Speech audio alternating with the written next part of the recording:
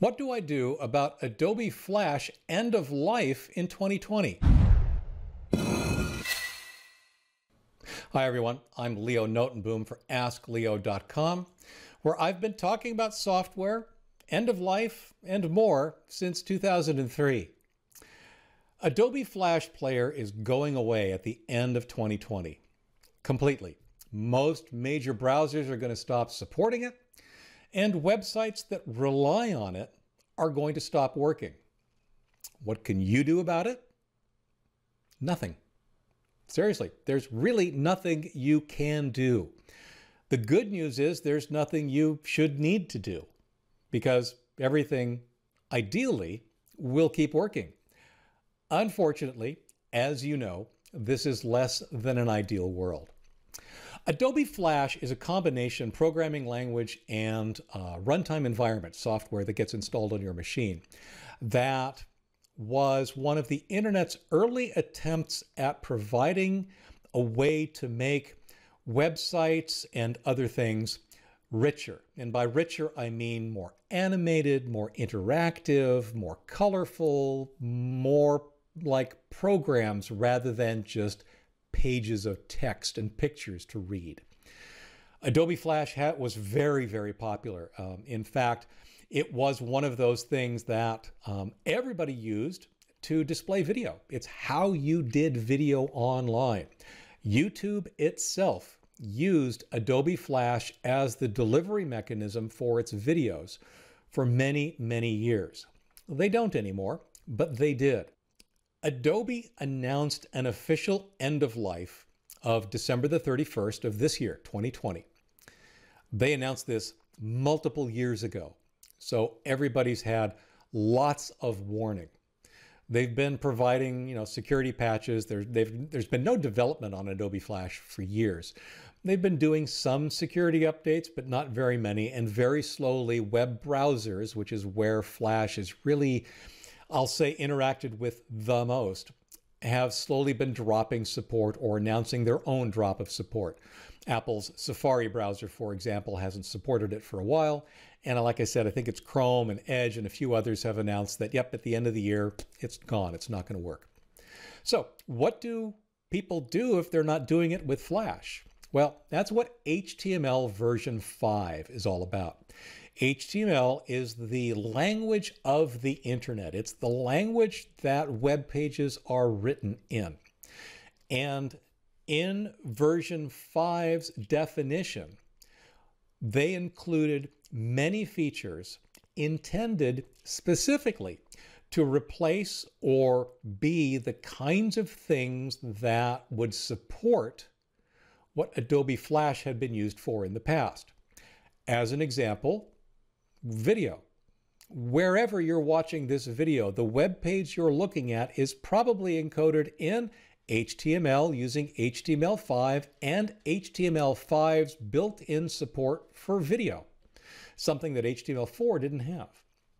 So HTML5 is intended to replace essentially almost all use of Adobe Flash. The problem, of course, is that it's not compatible technology. You can't just take an Adobe Flash written web page or application and have it run in HTML5. You need to essentially rewrite it pretty much from scratch. And that's what people have been doing. Uh, certainly in my own case, hosting videos on Ask Leo, I changed some years ago the way that I embed videos. Videos are now embedded using HTML5. In the past, they hadn't been. Everybody that had a Flash web page or Flash-based functionality is faced with that exact same situation. They have two choices. Recode or rewrite that application or page to not use Adobe Flash, to use something else, or abandon it. Take it down if they like, but it's going to stop working sometime very, very soon. So what does that really mean to you and me? Well, our options are limited, right? You're already using a web browser that supports Flash's replacement. There's no reason certainly after the end of the year, for you to even have Flash installed on your machine. Fact is, it may not be installed now. In fact, you're probably safe to uninstall it if it is. But the bottom line is, you're not in control of what's being changed here. You have all the tools you need right now to work with Flash's replacement. It's the website owners and developers on whom the burden rests. And if they don't update their pages, if they don't update their applications, you and I can do very little. The only thing we can do is stop using that website or application and complain to the website or application owner and hope that they have a suitable replacement. That's it. That's what's in your control. It's not something that we have control over. It's just something we have to deal with. The question I often get asked um, as sort of a coda to this whole thing, the question that I often get asked is, what's wrong with Adobe Flash? Why are they taking it away? Adobe Flash, for one thing, is very, very old. It's initially written before we really understood how widely used it would be.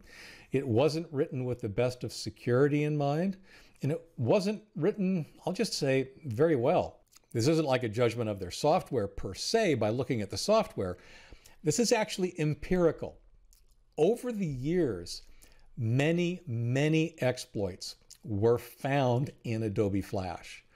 And apparently, the people fixing it realized that the code that makes up Adobe Flash, the fundamental way it's designed, is just something that's risky. It's just something that is probably going to get exploited more and more if people continue to use it more and more. So they opted for what I often refer to as the nuclear solution. Get rid of it. Start over from scratch. And rather than rebuilding Adobe Flash, they said, let's make this an open standard in HTML rather than a proprietary standard owned by a company. That's the story behind Adobe Flash. It is going away at the end of the year, and there's nothing you should have to do about it. For updates, for links related to this article on which this video was originally based, for comments and more, visit askleo.com slash 127713. I'm Leo Notenboom. This is AskLeo.com. Thanks for watching.